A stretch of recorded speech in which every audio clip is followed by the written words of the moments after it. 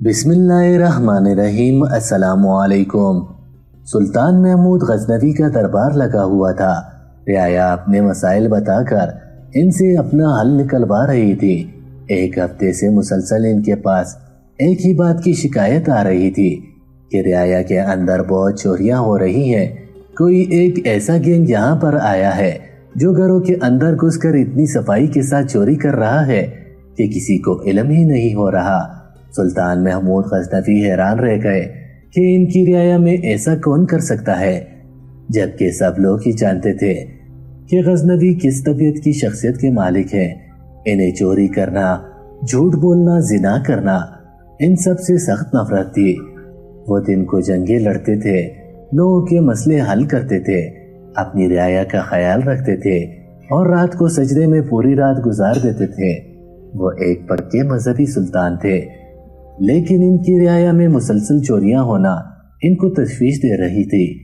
इन्होंने अपने वज़ीर के ज़रिए रियाया में ये ऐलान भी करवाया था कि जो भी चोर यहाँ पर चोरियाँ कर रहा है, वो वापस चला जाए। क्योंकि अगर इन्होंने इस चोर को पकड़ा तो इसको बिल्कुल भी माफ़ी नहीं मिलेगी। और इसको बीच मैदान के अंदर सबके सामने फांसी के पंदे पर चढ़ा दिया जाएगा। लेकिन इसके बावजूद भी चोरियों का सिलसिला नहीं रुका था। और इनके ऐलान के बावजूद भी इनके पास चोरी की शिकायत आ रही थी। इन्होंने तहैया कर लिया था कि वो हर हाल में इन चोरों को पकड़कर ही दम लेंगे। इन्होंने फ़ौरन ही अपने तमाम तर जासूसों और छापा मारों को इस मिशन पर लगा दिया था कि इन्हें फ़ौरन ही इस बात की इतला दी जाए कि ये चोरों का गैंग कहाँ पर बैठता है और ये लोग कौन हैं। इनके कहने के मुताबिक इनकी छापा मार और जासूसों ने फ़ौरन ही कार्रवाई शुरू कर दी थी। इन्हें गुस्सा सबसे ज़्यादा इस बात का था कि इन्होंने ऐलान करवा दिया था इसके बावजूद भी वो चोर रिटाई के साथ मुसलसल चोरी पे चोरी किए जा रहे थे, और यही चीज़ इनके गुस्से का गिरफ्त पड़ा रही थी।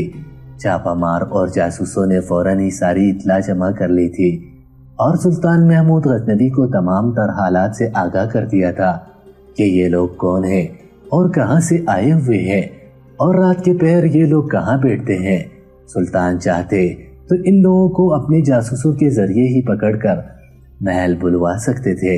लेकिन इन्होंने यही सोचा कि वो इन लोगों को रंगे हाथों पकड़ेंगे, ताकि मालूम हो सके कि ये लोग कितने बहादुर हैं जो ये काम इतनी सफ़ाई से कर रहे हैं।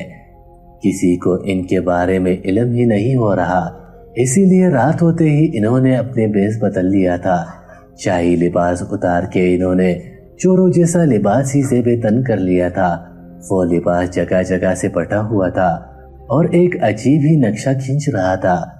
जब वो अपने महल से कश करने के लिए निकले तो इनके वज़ीर इनके साथ चलने के लिए जिद करने लगा।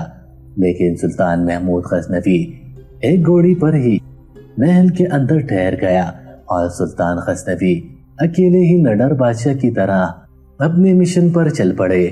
इनके बहुत से सिपाही और इनके खास वज़ीर ने इनको इस बात के लिए बहुत कहा था कि हम चलना चाहते हैं, लेकिन इन्होंने किसी को भी साथ चलने की इजाज़त नहीं दी थी। वो चलते चलते एक ऐसी जगह पर पहुँच गए थे, जो बहुत ज़्यादा सुनसान थी, जहाँ पर दूर दराज तक भी लोग नज़र नहीं आ रहे थे। रात की तारीखी अपने अरूज पर थी।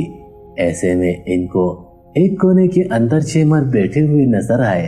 वो समझ चुके थे कि ये वही लोग हैं जिनके बारे में इनके चापा मारों और जासूसों ने बताया है। चंद पल के लिए इन्होंने बगौर इन छापा मार, इन छह मर्दों को देखा। वो देखते ही समझ चुके थे कि यकीनन इनके पास कुछ ऐसी ताकतें मौजूद हैं, जिसकी वजह से ये लोग इतनी आसानी से और इतनी सफ़ाई से सुल्तान महमूद गजनवी की सल्तनत के अंदर चोरियाँ कर रहे थे।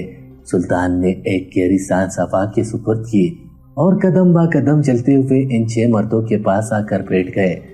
इन सब मर्दों ने सुल्तान महमूद गजनवी को अजीब सी निगाहों से देखा और इनमें से इनका सरबरा इनकी जानब देखते हुए पूछने लगा, कौन हो तुम?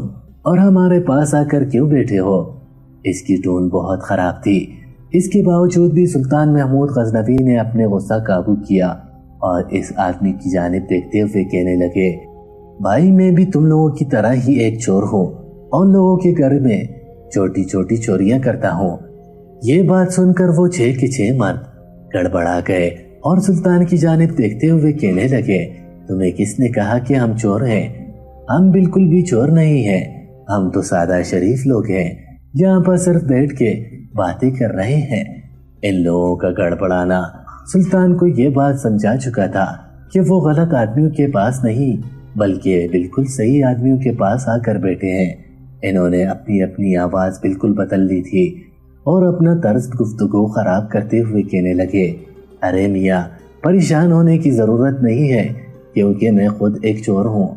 अगर मैं तुम लोगों के बारे में किसी को बताऊँगा तो लोग मेरी बातों पर कभी यकीन नहीं करेंगे, क्योंकि सब लोग मुझे यही बोलेंगे कि तुम खुद एक चोर हो।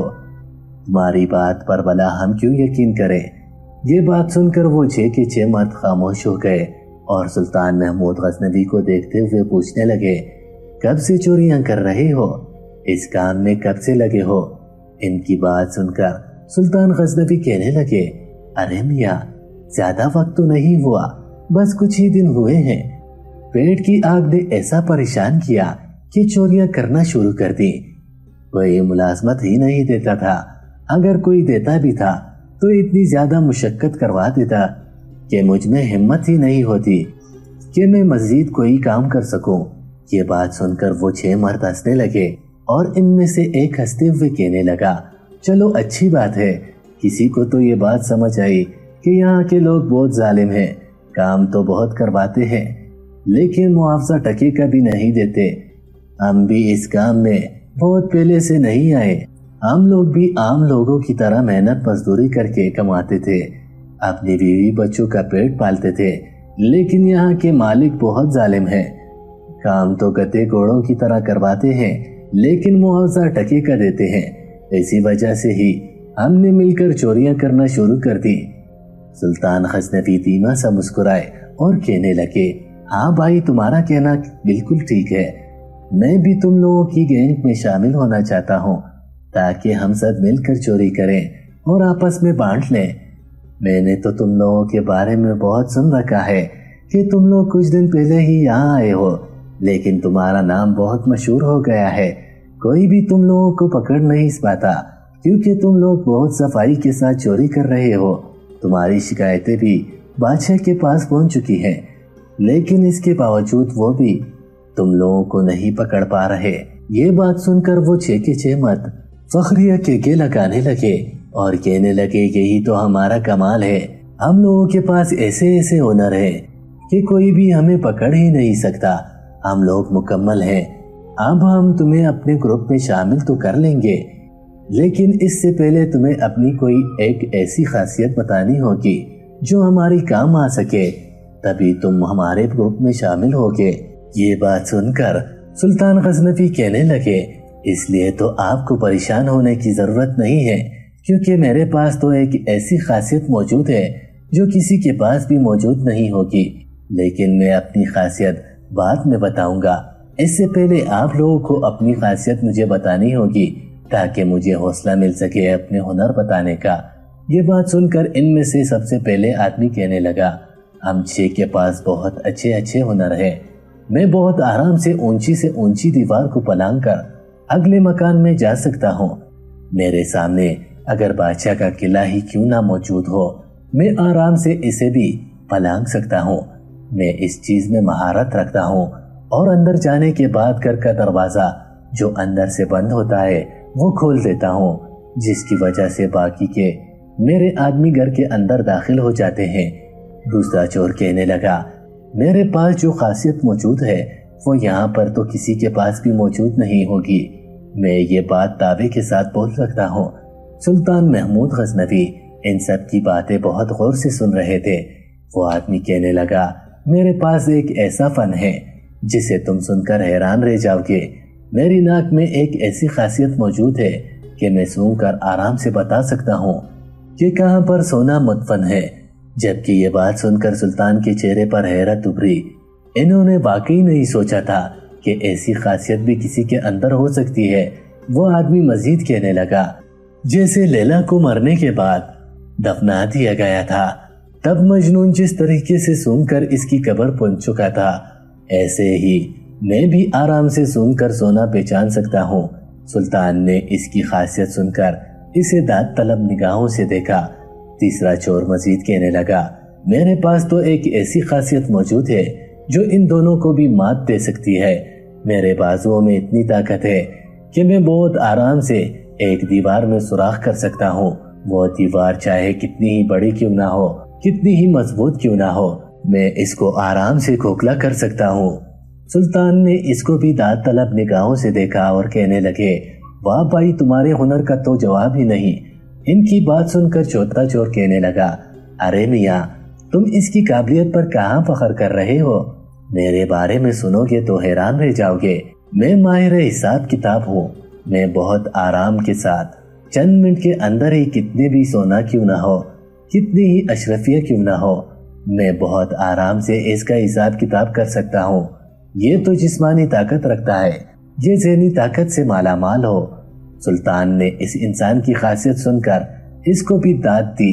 वो वाकई इन चारों चोरों से मुतासिर हो चुके थे। वो लोग अपनी अपनी जगह बहुत अच्छे अच्छी खासियतों से माला माल थे। पाँचों चोर कहने लगे, ये सब तो बस ठीक ही है। अगर तुम मेरी खासियत सुन लो तो हैरान रह जाओगे। सुल्तान ने इस आदमी की बात सुनी और कहने लगे जी जी हजूर बताएँ, आपकी क्या खासियत है? इनके लेजे में तजस्स था। वो आदमी खुश होते हुए कहने लगा, मेरे कानों में ऐसी खासियत है, जो यहाँ पर किसी में भी मौजूद नहीं होगी। कुत्ता जब बोंगता है हमें देखकर तो मैं आराम से इसकी जबान समझ जाता हूँ कि वो हमें देखकर क्या बोल रहा है। एक कुत्ते की वजह से हम कितनी बार लोगों के हत्थे चढ़ते हुए बचे हैं। मैं हमेशा ही कुत्ते के भौंकने की वजह से सबको बचा लेता हूँ। इस आदमी की बात सुनकर सुल्तान इसको दाद दिए बगैर नहीं रह सके थे। किसी जानवर की जबान समझना वाकई काबिल तारीफ़ है। इन्होंने इसको दिल से सराहा था। वाह यार, तुम तो बड़े कमाल के इंसान हो। लोग तो आजकल इंसानों की जबान नहीं समझ पाते। तुम तो एक जानवर की जबान समझ जाते हो। तुम्हारा तो जवाब ही नहीं। वो आदमी सुल्तान के मुँह से अपनी तारीफ़ सुनकर खुल सा गया था। आखिरी चोर जो बहुत खामोश था, वो कुछ भी नहीं बोल रहा था। सुल्तान ने अब सबसे आखिरी वाले आदमी की जानब देखा और इससे कहने लगे हाँ मियाँ, अब तुम बताओ, तुम्हारी क्या खासियत है? बाकी सब तो बड़े पुरजोश अंदाज में बता चुके हैं, लेकिन तुम बड़े खामोश हो। वो आदमी सुल्तान की जानब देखते हुए कहने लगा, मैं तो तुम्हें अपनी खासियत के बारे में बता दूँगा। पहले तुम मुझे बताओ कि तुम्हारी क्या खासियत है? सुल्तान ने फ़ौरन ही कहा, जी जी, हजूर, मैं लाजमी बताऊँगा। मैं अपनी बात से कभी नहीं मुकरता। लेकिन अब आप आखिरी बचे हैं। पहले आप अपनी खासियत के बारे में बता दें। इसके बाद मैं आप सबको अपने हुनर के बारे में बताऊँगा। ये बात सुनकर वो आदमी कुछ कहता, इससे पहले ही इसके पांचवे साथी इसकी जानब देखते हुए कहने लगे, अरे यार, ज़्यादा नखरे न कर। जल्दी से अपनी खासियत के बारे में बता। फिर ये आदमी भी हमें अपनी खासियत के बारे में बताएगा। जब से ये आदमी आया है, मेरे दिल में तजस्स ही पैदा हो गया है। न जाने इसके पास ऐसा कौन सा हुनर मौजूद है, जो हमें बताने वाला है। इनकी बात सुनकर सुल्तान धीमा सा मुस्कुराए। वो लोग तो जानते ही नहीं थे कि इनके साथ कौन बैठा हुआ था। वो लड़का जो सबसे आखिरी बचा था, वो देखने में बहुत शातिर लग रहा था। वो बहुत गहरी निगाहों से सुल्तान को देख रहा था। जब इसके साथियों ने इसे बताने पर ज़ोर दिया तो वो मजबूरन कहने लगा, मेरे पास एक ऐसी खासियत मौजूद है कि मैं रात के अंधेरे में जिस शख्स को भी देखता हूँ, आराम से इसे दिन के उजाले में पहचान लेता हूँ। वो इंसान कोई भी क्यों ना हो, अगर वो इंसान बूढ़ा हो, जवान हो, औरत हो, आदमी हो, कोई भी क्यों ना हो, मैं फ़ौरन ही पहचान लेता हूँ। इन सब में जानवरों का भी शुमार होता है। अगर मैं रात के पहर किसी जानवर को भी देख लेता हूँ तो आराम से दिन के पहर इसे पहचान लेता हूँ। हम लोगों की खासियत तो अब मुकम्मल हो चुकी है, और हम सबने अपने हुनर के बारे में भी तुम्हें बता दिया है। अगर तुम हमारे ग्रुप के अंदर शामिल होना चाहते हो तो तुम्हारे पास भी कोई एक ऐसी खासियत मौजूद होनी चाहिए, जो हमारे काम आ सके। इसके बाद ही हम तुम्हें अपने ग्रुप के अंदर शामिल करेंगे, वरना हम तुम्हें कभी भी अपने साथ मिलाकर नहीं रखेंगे। सुल्तान महमूद गजनफी ने इस आदमी की बात सुनी और वो कहने लगे, एक बात कहता हूँ, तुम छह बंदूक को तुम सब में से सबसे ज़्यादा समझदार हूँ। ये आखिरी वाला है। इसकी बातों से ही अंदाज़ा हो चुका है कि ये इस खासियत के साथ साथ समझ बूझ भी रखता है। तुम सब भी बहुत अच्छे हो। और तुम सब भी समझदार लगते हो। लेकिन इस बंदे की बात ही अलग है। सुल्तान वाकई इस आखिरी आदमी से मुतासर हो गए थे। वो अपनी खासियत बताते हुए कहने लगे, मुझमें एक ऐसी खासियत मौजूद है, जब कोई मुजरिम फांसी के पंदे पर चढ़ता है और अगर मेरी दाढ़ी हिल जाती है तो फांसी के फंदे से बच जाता है और इसको बादशाह माफ़ कर देता है। मैंने बहुत से मुजरिमों को ऐसे बचाया है ये बात सुनकर वो छे के छे आदमी हैरान रह गए और कहने लगे, ऐसा हो ही नहीं सकता। तुम झूठ बोल रहे हो। ऐसी खासियत किसी इंसान के पास मौजूद ही नहीं हो सकती। ये तो एक तरह का जादू हुआ। वो छे के छे बहुत ज़्यादा इनकी बात से मुतासर हो गए थे और यही चीज़ सुल्तान को कामयाब करने के लिए काफ़ी थी। वो कहने लगे हाँ ये भी बोल सकते हैं कि ये एक तरीके का जादू है। लेकिन ये बात हकीकत है, मेरी दाढ़ी हिलती है और मुजरिम को फांसी के पंदे से रिहा कर दिया जाता है। अगर तुम सब मुझे अपने ग्रुप के अंदर शामिल करते हो और हम एक किंग बन जाते हैं तो यकीन मानो, अगर तुम सब किसी दिन पकड़े गए तो मैं आराम से तुम सबको फांसी के पंदे से बचा लूँगा। वैसे ही, तुम लोग सुल्तान महमूद गजनवी की सल्तनत के बादशाह की निगाहों में आ चुके हो, क्योंकि इनके दरबार में बहुत सी राया ने जाकर ये शिकायत दर्ज करवा दी है कि इनके घरों से चोरी हो रही है और चोरी करने वाला कोई आम इंसान नहीं है, बल्कि कोई एक ऐसा गैंग है जो इस काम को बहुत सफ़ाई के साथ कर रहा है, जो अभी तक किसी की पकड़ में ही नहीं आया। इनकी बात सुनकर सारे एकदम ही खुश हो गए और वो आखिरी वाले आदमी कहने लगा, हमें मंजूर है, हम तुम्हें अपनी गैंग के अंदर शामिल करते हैं। लेकिन याद रखना, अगर तुमने हमारे साथ जरा भी गदारी करने की कोशिश की तो हम तुम्हें खत्म करने में चंद सेकंड लगाएँगे और तुम्हें गहरी नींद सुला देंगे। सुल्तान ने इस आदमी की बात सुनकर इसे यकीन दिलाया कि तुम मेरा यकीन मानो। मैं कभी झूठ नहीं बोलता और मैं वादा करता हूँ कि कभी भी तुम लोग पकड़े गए तो मैं तुम लोगों को आराम से बचा लूँगा। ये बात सुनकर सबसे पहले आदमी जिसके पास दीवार पलांगने की सलाहियत थी, वो कहने लगा, चलो तो। फिर अगर आज हमारे पास एक ऐसा बंदा मौजूद है, जो हमें फांसी के पंदे से आराम से बचा सकता है तो हम आज सुल्तान महमूद गजनवी के महल के अंदर चोरी करेंगे। वहाँ से खजाना निकाल कर बाहर लाएँगे। ये बात सुनते ही सुल्तान की आँखें पल में बदली थी, लेकिन इन्होंने फ़ौरन ही अपने तासुरात पर काबू पा लिया था। दूसरा आदमी जिसके पास सोना सूंघने की सलाहियत थी वो भी यही कहने लगा हाँ तुम दुरुस्त कह रहे हो। हम लोग इस मंसूबे पर काफ़ी दिनों से काम कर रहे हैं, लेकिन अभी तक हम लोग इसको पाया तकमील पर पहुँचा ही नहीं पाए, क्योंकि हमारे पास कोई ऐसा सुराख ही नहीं लग पा रहा था और न ही एक ऐसा मंसूबा बना पा रहा था कि हम बादशाह के महल में चोरी कर लेते। लेकिन आज जब हमें अपनी मौत का कोई डर ही नहीं है तो हम लोग आराम के साथ सुल्तान महमूद गजनबी के खजाने की चोरी कर सकते हैं। सब लोग ही इन दोनों की बात पर हामी बनने लगे। जबकि सुल्तान महमूद गजनबी इनकी इस बात को सुनकर बेसाख्ता ही धीमा सा मुस्कुराए थे। वो लोग तो इस बात से ही बेखबर थे कि खुद सुल्तान महमूद गजनबी इस सल्तनत के बादशाह इनके साथ मौजूद हैं। सुल्तान भी इन लोगों के हामी भरते हुए कहने लगे, तुम बिल्कुल ठीक बोल रहे हो। हम लोगों को ऐसे ही करना चाहिए। आज की रात हम लोग बादशाह के खजाने की चोरी करेंगे। अगर तुम लोग पकड़े गए तो तुम लोगों को परेशान होने की ज़रूरत नहीं है। कल पांसी के पंदे से बचाने के लिए मैं तुम लोगों के पास होऊँगा। ये बात सुनकर सब लोग ही खुश हो गए और एक साथ खड़े होकर सुल्तान महमूद गजनफी जो इस वक्त एक चोर का पेश डाले हुए थे, इनके नाम के नारे लगाने लगे और थोड़ी देर बाद ही वो लोग एक अच्छे से मंसूबे के साथ महल की जानब चल पड़े। वो आदमी, जो रात के अंधेरे में इंसान को देखने के बाद दिन के उजाले में इसकी शिनाख्त कर सकता था, वो सुल्तान महमूद गजनबी की जानब देखते हुए कहने लगा, मुझे एक बात समझ नहीं आ रही।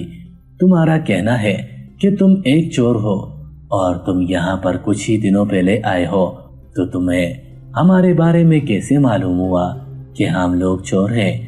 जबकि अभी तक किसी ने हम लोगों को न देखा है और न हमारी आवाज़ सुनी है तो तुम हमें देखकर कैसे पहचान गए? इसके सवाल से साथ चलते हुए वो वो पाँच आदमी भी एक दिल ही रह गए थे और सुल्तान महमूद गजनबी को देखते हुए इस सवाल को तायद करने लगे थे कि हाँ हमें भी ये सवाल अंदर ही अंदर परेशान कर रहा है। अभी तक इस राया में ना हमें किसी ने देखा है। ना हमारे बारे में किसी ने सुना है। तुम्हें हमारे बारे में कैसे मालूम हुआ कि ये हमारा अड्डा है? और तुम हम तक पहुँच गए। ये बात बड़ी ताजुब जदा है। सुल्तान महमूद गजनबी ने जब तोपों का रुख अपनी जानब देखा तो वो एकदम ही परेशान हो गए, क्योंकि इन्होंने ऐसी कोई भी बात नहीं सोची थी कि ये लोग इनसे ऐसा सवाल भी कर सकते हैं। लेकिन वो सल्तनत के बादशाह थे। वो कोई आम इंसान नहीं थे। इन्होंने फ़ौरन ही तासुरात पर काबू पा लिया था और इन सब मर्दों की जानब देखते हुए कहने लगे थे, ये तो बहुत आम सी बात है। तुम लोग जिस तरीके से आधी रात के पहर एक शमशान जगह पर बैठे हुए थे, तुम्हें कोई भी देखकर इस बात का अंदाज़ा आराम से लगा सकता है कि तुम लोग चोर हो। और जैसे ही मैंने तुम लोगों से ये बात पूछी तो तुम लोग फ़ौरन ही गड़बड़ा गए, जिसकी वजह से मैं फ़ौरन ही पहचान चुका था कि मेरा दावा गलत नहीं है। मैंने तो सिर्फ़ एक तुक्का मारा था और मेरा तुक्का बिल्कुल ठीक साबित हुआ था। वो लोग इनकी इस जवाब से मुतमिन तो नहीं हुए थे, लेकिन देर होने की वजह से इस सवाल को कल पर डालकर वो लोग आगे की जाने पड़ गए थे। वो लोग महल की बिल्कुल पास आ चुके थे। वहाँ मौजूद कुछ कुत्ते भोंकने लग गए थे कि अचानक ही वो आदमी जो कुत्तों की जबान समझता था, वो एकदम ही अपनी जगह पर रुक सा गया था। वो कुत्ते बहुत तेज़ी के साथ भोंक रहे थे। इसके साथी भी रुक कर इस आदमी को देखने लगे थे, जो कुत्तों की जबान समझता था। वो बहुत गौर से इन लोगों की जबान को समझने की कोशिश कर रहा था और थोड़ी देर बाद वो सबकी जानब मुतवजह होकर कहने लगा, ये कुत्ता पागल हो चुका है। लगता है इन लोगों ने कुछ गलत खा लिया है। ये लोग बोल रहे हैं कि हमारे साथ बादशाह सुल्तान मोहम्मद गजनवी मौजूद है। हम लोगों को यहाँ से लौट जाना चाहिए। जबकि इस आदमी की बात सुनकर वो पाँच मत बाकी खेके लगाकर हंसने लगे थे, जबकि सुल्तान परेशान हो गए थे कि कहीं ये लोग इनकी शिनाख्त न कर लें। लेकिन वो लोग लालच के अंदर इतने अंधे हो चुके थे कि कुत्तों की बातों को बना ध्यान दिए। महल के दरवाजे के करीब पहुँच गए थे।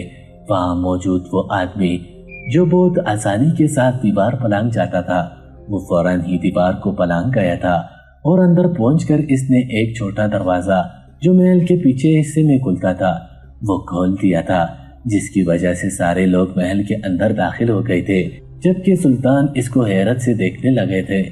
वो अपनी बात पर बिल्कुल सही तरीके से उतरा था। इसने कहा था कि वो आराम से बादशाह के किले की दीवार भी पलांग सकता है, और उसने अपना बोला हुआ जुमला पूरा किया था। वो लोग कदम बा कदम खामोशी के साथ इस कमरे के अंदर आ गए थे, जहाँ पर खजाना रखा हुआ था। जल्दी जल्दी वो लोग खजाना समेटने लगे थे, जबकि सुल्तान महमूद गजनबी खामोशी से पीछे हाथ बांधे खड़े इन लोगों की कार्रवाई को देख रहे थे। एक आदमी इनकी जानब देखते हुए कहने लगा, अरे, तुम क्यों खड़े हो? जल्दी जल्दी सामान को समेटो, हम लोगों को यहाँ से निकलना होगा। अगर महल के अंदर ये बात फैल गई कि खजाना के अंदर से चोरी हो रही है तो हम लोग बिल्कुल भी नहीं बच पाएँगे। लेकिन इस आदमी की बात सुनने के बावजूद भी सुल्तान महमूद गजनबी अपनी जगह से नहीं हिले जब इन्होंने कोई हरकत नहीं की तो एक और आदमी इस गुस्से से गरजता हुआ कहने लगा, क्या नवाबों की तरह खड़े होकर तमाशा देख रहे हो? हमें देर हो रही है। क्या नवाबों की तरह खड़े होकर तमाशा देख रहे हो? हमें देर हो रही है। हमें अपना काम जल्दी से जल्दी खत्म करना होता है। इस तरीके से कोताही करोगे तो हम तुम्हें कभी भी अपने काफले में शामिल नहीं करेंगे। लेकिन इसके बावजूद भी सुल्तान ऐसे ही खड़े रहे। इनका ऐसा खड़े रहना आखिरी वाले चोर जो रात के पहर आदमी को देखकर दिन के उजाले में पहचान जाता था, वो खामोशी से सुल्तान को देखने लगा और अपने हाथ में मौजूदा तमाम सोना नीचे ज़मीन पर फेंक दिया और कहने लगा, कौन हो तुम? सच सच बताना। इसके इस तरीके से कहने पर वो जो पाँच आदमी जल्दी जल्दी सोने को समेट रहे थे, इसे छोड़कर सुल्तान की जानब मुतवजो हो गए। सुल्तान महमूद गजनबी ने बुलंद आवाज़ में अपने सिपाहियों को बुलाया। इनकी आवाज़ में ऐसी गरज और चमक थी, वो छह के छह मर्द काम से गए।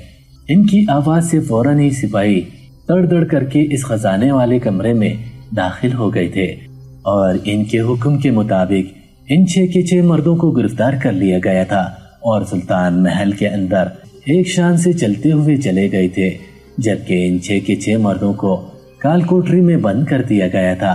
अगले रोज बीच मैदान के अंदर छह पांसी के फंदे तैयार किए गए थे, और सुल्तान महमूद गजनवी अपनी नशिस्त पर बैठे हुए थे। बहुत दूर दूर से रियाया इन छह मर्दों का अंजाम देखने के लिए आई थी, जो पूरी रियाया को परेशान कर चुके थे। कितने लोगों का माल लूट चुके थे, ये जो इन लोगों ने इतनी मेहनत से बनाया था सब लोग इन छह मर्दों को नफरत भरी निगाहों से देख रहे थे। सुल्तान महमूद गजनवी का भी यही हाल था। वो भी इन छह मर्दों को बहुत नफरत भरी निगाहों से देख रहे थे। इन्होंने फ़ौरन ही जल्लाद को हुक्म दिया कि इन छह मर्दों के गले में फांसी का पंदा डाला जाए और इनको गहरी नींद सुला दिया जाए। लेकिन इससे पहले ही वो आखिरी वाला चोर जो रात के पहर इंसान को देखने के बाद दिन के उजाले में इसकी शिनाख्त कर लेता था। वो कहने लगा, आपने कल हम लोगों से वादा किया था कि आपके पास एक ऐसी खूबी मौजूद है, जिससे अगर आपकी दाढ़ी ही ले तो हम लोग फांसी के फंदे से बच सकते हैं। आपने हमसे वादा किया था कि आप हमें बचाएँगे। तो अब आपको अपना वादा पूरा करना होगा, क्योंकि जितना हमने सुल्तान महमूद गजनबी के बारे में सुना है, वो कभी भी अपनी जबान से मुकरने के आदि नहीं है। हम लोगों के पास बहुत सी ऐसी सलाहियतें मौजूद हैं। हम लोग वादा करते हैं कि हम लोग चोरी छोड़ देंगे और आपके लिए काम करेंगे, लेकिन हमें बख्श दिया जाए और एक आखिरी मौका दे दिया जाए। सुल्तान वाकई ही अपनी बात से कभी नहीं मुकरते थे। इनकी ये बात पूरी जहान में मशहूर थी कि वो एक ऐसे बादशाह हैं। जब वो अपनी बात एक बार बोल देते थे तो कभी भी पीछे नहीं हटते थे। इन्होंने सारे मर्दों की जानब देखा और कहने लगे मैं तुम्हारी बातों पर यकीन करके तुम्हें छोड़ सकता हूँ, लेकिन तुम्हारे बाकी के साथी इस काबिल नहीं है कि इन्हें छोड़ा जाए। वो आदमी ये बात सुनकर कहने लगा, सुल्तान मुआजम आपकी बात बचा है, लेकिन ये सब भी ऐसे ही चोरी करना शुरू नहीं हुए थे। इसके पीछे भी एक वजह है। हम लोगों ने इस चोरी करने से पहले बहुत मेहनत की थी। इतनी मेहनत जितनी किसी ने भी न की हो, हमसे पत्थर उठवाए गए थे। हम लोगों ने लोगों के बहुत काम किए थे, लेकिन इसके बावजूद भी हमें मुआवजा हमारी सोच से कम ही मिला था।